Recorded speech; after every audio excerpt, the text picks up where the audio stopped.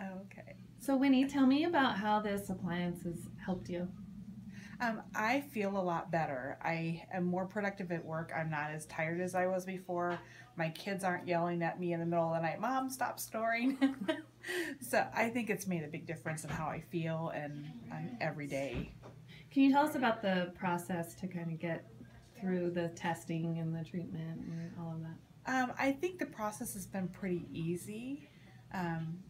The I already had a night a night guard I wore for grinding my teeth, so the transition from that to this other device wasn't really that hard. And once I got used to it, it I don't feel like it, it bothers me. Um, I think it's been very easy to follow the instructions, and I just have to remember when I'm going out somewhere and we're not coming back for the weekend to grab it, remember to bring it with me.